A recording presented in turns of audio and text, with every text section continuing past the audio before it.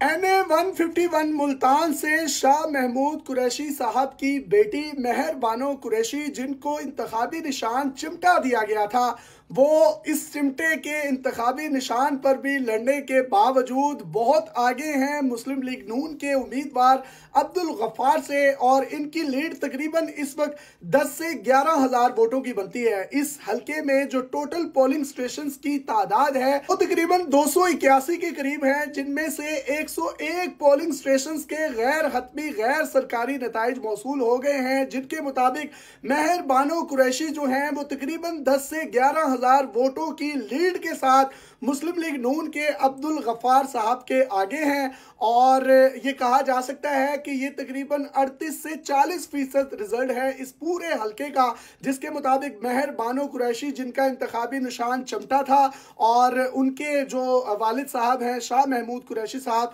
इस वक्त वो वफा की इलामत बने हुए पीटीआई के वोटर्स और सपोर्टर्स के मुताबिक वो इमरान खान साहब के साथ जेल में जो है वो असीरी काट रहे हैं, लेकिन जो उनकी बेटी है, उसने ये इलेक्शन कैंपेन बड़े जोरों शोर से की और इस वक्त उनके जो वोटों की तादाद है 101 पोलिंग स्टेशन से एन ए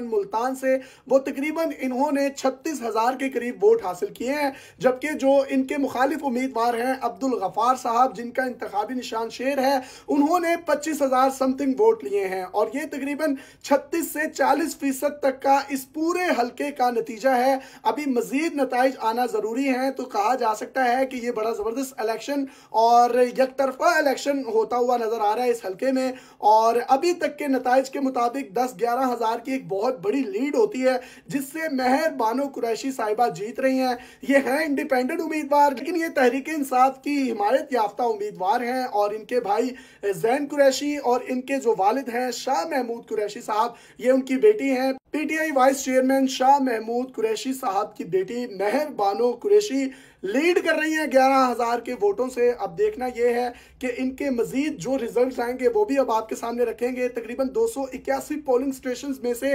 101 पोलिंग स्टेशन के ये रिज़ल्ट हैं गैर हतमी, गैर सरकारी, जिसके मुताबिक मेहर बानो कुरैशी अब्दुल गफार साहब को शिकस्त देती हुई नज़र आ रही है।